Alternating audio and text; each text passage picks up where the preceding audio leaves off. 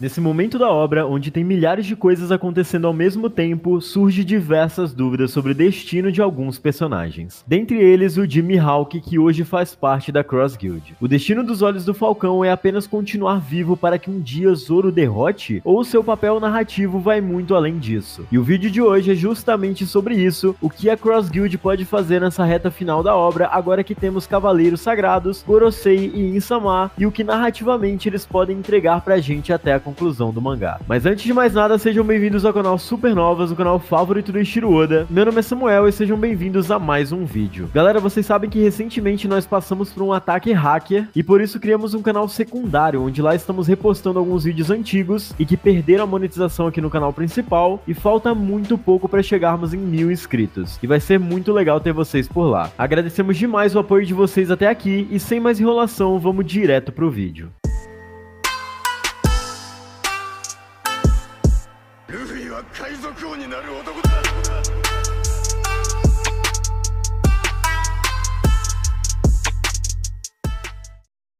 Mihawk aparece pela primeira vez na obra no capítulo 50, intitulado de O Meu Próprio Destino. Obviamente, é um título feito exclusivamente para o Zoro e o objetivo que ele quer alcançar no auge de sua vida, mas não deixa de ser irônico como seu oponente é o completo oposto. O Mihawk não tem um destino almejado por ele e nem um objetivo, pelo menos é o que dá a entender nessa parte do mangá, e sinceramente até nos capítulos atuais. Ao ser perguntado o que ele, o espadachim mais poderoso, estava fazendo nos mares mais fracos do mundo, ele responde dizendo que estava querendo apenas passar o tempo. Por isso perseguiu Don Krieg até aquele local. Isso é destacado quando ele estimula o sonho do Zoro de o derrotar no futuro para se tornar o espadachim mais poderoso, trazendo assim um pouco de entretenimento para os olhos de Falcão, que já chegou no topo do mundo e agora está apenas vivendo sua vida trabalhando de vez em quando para o governo como Shichibukai. E em outros momentos só se divertindo caçando piratas como Don Krieg. Bom, mas no que diz respeito à força dos personagens que hoje estão no topo do universo de One Piece, sempre há espaço para interpretações. E vindo para os capítulos mais recentes do mangá, temos talvez a primeira ideia de um objetivo que Mihawk tomou, dessa vez em conjunto com a Cross Guild. O que por si só gerou uma polêmica na fandom porque ele obviamente deu uma breve hesitação sobre lutar contra os Yonkous, o que levantou o questionamento sobre em qual patamar ele estaria se comparado a esses personagens. Mas vamos esclarecer as coisas. Só porque alguém está relutante em lutar contra o Yonkou, não o torna fraco. No capítulo 1082, muitas pessoas especularam que Mihawk estava hesitante em lutar contra os piratas do Barba Negra, os piratas do Ruivo e os piratas do Chapéu de Palha. No entanto, essa hesitação não deve ser tomada como um sinal de fraqueza. Em vez disso, é o curso de ação mais racional e esperado de qualquer potência no mundo de One Piece. Ao longo da história, vimos muitos exemplos de personagens poderosos hesitando em lutar contra Yonkous. Barba Branca, o homem mais forte do mundo, estava relutante em lutar contra os piratas das feras. Dragon, o criminoso mais perigoso do mundo, evitou se envolver com os piratas do Barba Negra. Barba Negra, que muitas pessoas consideram o oponente final de Luffy, estava relutante em lutar diretamente com Big Man e Kaido e só foi atrás de suas cópias de Poneglyph depois que eles foram derrotados. Os Gorosei demonstraram hesitação em irritar o Kaido. Os fuzileiros navais, com todo o seu poderio militar reunido, hesitaram em lutar contra Shanks quando ele veio para acabar com a guerra de Marineford. Se eles não estivessem relutantes em lutar contra os imperadores, essa seria a oportunidade perfeita de se livrar dos piratas ruivo. Mihawk não teria ganhado nada lutando contra os Yonkous e não tem interesse em encontrar One Piece, tornando racional para ele relutar e lutar contra eles. Essa hesitação demonstra na verdade a sua inteligência e a capacidade de avaliar os riscos. Porém, Bug reacende as ambições de Mihawk e Crocodile de reivindicar o One Piece. No capítulo 1082, o Bug reacendeu sua motivação e sua ambição como verdadeiro pirata. Ele finalmente ajudou a trazer a paixão de volta para toda a equipe, coisa que era impensável antigamente, já que o palhaço parecia ser um personagem bem acomodado, que só estava naquela posição de Yonkou por pura sorte. E essa é a piada que o cerca desde que chegamos no Novo Mundo. Crocodile também tinha o sonho de encontrar One Piece, como vimos na reportagem de capa da Baroque Works. O único estranho foi Mihawk até agora, devido tudo que já falamos sobre o personagem até o momento. Mas e se, como o resto deles, ele também compartilhasse dessa ambição? De qualquer forma, o Mihawk também vai participar dessa corrida pelo One Piece, porque não é como se ele fosse simplesmente deixar a Cross Guild. Se ele já foi atrás do One Piece como os outros, o que você acha que matou sua ambição e o fez parar? Perceberam que o Oda pode ter reunido, mesmo sem querer ou já sabendo, três personagens que acabaram abandonando seu principal sonho e se rendendo ao mundo buscando voos mais baixos. O próprio Crocodile, aparentemente, após perder a batalha contra o Barba Branca, decidiu depender de uma arma para poder ter um poder que ele nunca conquistaria sozinho. Aconteceu o mesmo com Moria perdendo a batalha em Wano contra Kaido e querendo agora depender de um grande exército de mortos-vivos. Mas Moria é só um exemplo, já que ele vai desempenhar um outro papel na história e já falamos sobre ele nos últimos vídeos. E finalizando esse pensamento, talvez a Cross Guild seja formada por membros que anteriormente desistiram de seus sonhos de encontrar One Piece, com o Bug trazendo de forma irônica essa paixão de volta. Mas onde entram os chapéus de palha nisso tudo? É claro que para Luffy, o Rei dos Piratas não é o objetivo final, até porque, como todos nós sabemos, ele só quer ser o homem mais livre. Porém, mesmo encontrando One Piece, Luffy ainda não poderá usufruir dessa liberdade até derrotar Insama e Barba Negra. Luffy alcançará níveis que superam até mesmo os de Roger, tornando-se não apenas o rei dos piratas, mas também o próximo Joy Boy ou Nika, só que dessa vez conseguindo completar o seu objetivo. Como sabemos, a jornada de Zoro é muito parecida com a de Luffy, então por que Zoro pararia no título de melhor espadachim do mundo? Se você não se lembra, Zoro disse que queria que seu nome chegasse aos céus. Assim como Luffy será conhecido como Deus do Sol Nika, Zoro também será conhecido como um deus. O deus da espada, sucessor de Ryuma, e nada mais justo do que o legado da família Shimotsuki tendo uma continuidade. E aqui, entre os Gorosei que citamos no começo do vídeo, porque acreditamos que a batalha final, Piratas vs Zin e os Gorosei, será uma batalha para saber quem são os verdadeiros deuses de One Piece. Ao derrotar o Gorosei que se assemelha ao Gandhi, que nós achamos que é provavelmente o atual deus da espada, Zoro superará Ryuma e se tornará o novo deus da espada de One Piece. Isso faz sentido por vários motivos se levarmos em consideração que Mihawk não será o último oponente de Zoro na obra, pelo menos é isso que dá a entender após o Oda estar dando tanto destaque para os Gorosei nos últimos capítulos. Sabemos que Mihawk pode não ser a luta final de Zoro, pois Mihawk faz parte da corrida pelo One Piece, graças a Bug, já que a guerra final provavelmente acontecerá após One Piece ser encontrado. No entanto, Mihawk é atualmente o melhor espadachim do mundo. Então, onde o Gorosei Gandhi, que empunha uma espada, se encaixa nessa possível batalha por esse título? Como nós sabemos, os Gorosei, devido à posição que se colocaram, não se veem como homens. Eles se veem como deuses. Portanto, existe sim essa diferença de títulos entre o pirata normal, que no caso é o Mihawk, e um homem que está no topo do mundo. O Gandhi pode ser o deus da espada, enquanto Mihawk é o melhor espadachim do mundo, e não haveria nenhuma contradição nisso. Esse Gorosei poderia facilmente ser mais forte que Mihawk, sem tomar seu título de melhor espadachim ou arruinar o sonho de Zoro. No geral, a Cross Guild, embora seja um grupo poderoso, é apenas outro rival de Luffy na corrida pelo One Piece, que provavelmente não causaria muitos riscos para o Chapéu de Palha, visto que Luffy já teve confrontos com Bug e Crocodile e repetir essa trama não é muito o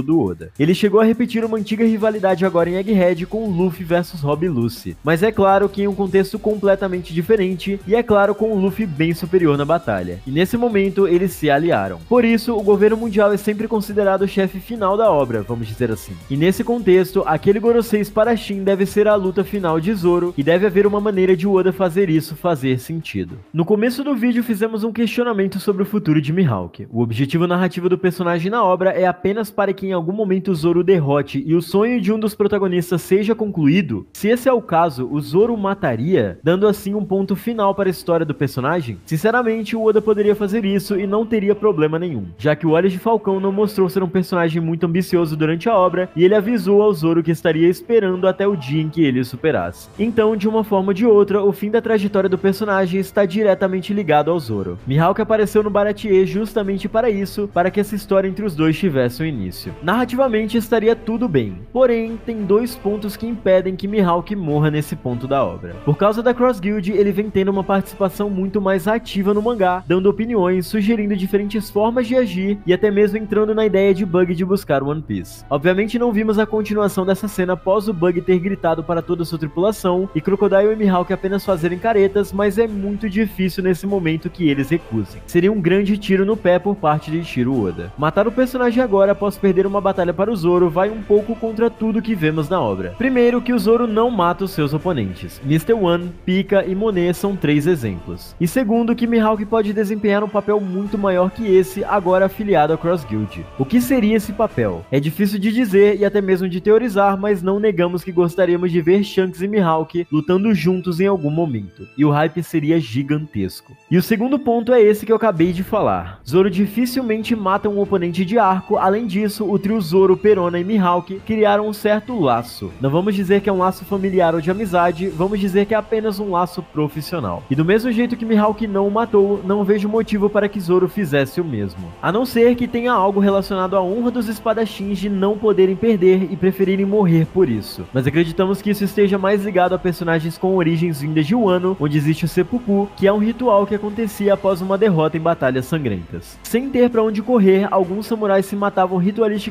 para evitar uma inevitável captura por parte de seus inimigos ou por algo desonroso que ele tinha feito. Acreditamos que isso não se encaixa com o personagem do Mihawk. Mihawk e outros membros da Cross Guild são personagens incríveis que com a junção deles fizeram com que cada um saísse da zona de conforto de alguma forma. E aqui no canal nós com esse vídeo completamos essas teorias relacionadas a esses membros, porque já falamos a respeito do Crocodile em um vídeo específico, que inclusive hoje daria para refazê-lo devido a tudo que vem sendo mostrado a respeito da Vivi e já fizemos recentemente um vídeo sobre o Buck e sobre a sua possível chegada em Laugh Tale junto a Shanks. E é claro, nesse aqui focamos um pouco mais no Olhos de Falcão, obviamente atentos no que pode acontecer em volta dele e o que esse personagem ainda pode oferecer para nós nessa obra, porque com certeza ele não se resume apenas em uma batalha contra Zoro, pelo menos é isso que nós deixamos como pensamento nesse vídeo. O que vocês acham? Faltou mencionar algum detalhe? Vocês pensam diferente em algum ponto? Comentem aí e é com isso que nós encerramos esse vídeo. Se vocês gostaram, deixem seu like aí embaixo e comentem o que vocês acharam e se inscrevam no canal se vocês ainda não são inscritos. Além disso, chequem a descrição, é muito importante. Lá tem todas as nossas redes sociais, o código Pix do canal caso vocês queiram ajudar a gente de alguma forma e o canal secundário, que é muito importante que vocês se inscrevam por lá para servir como uma espécie de bunker aqui pro canal. O capítulo dessa semana tá absurdamente insano e nós já estamos preparando teorias absurdas para ele. Então fiquem ligados e já ativem o sininho para não perder nada. E é isso, galera. Valeu!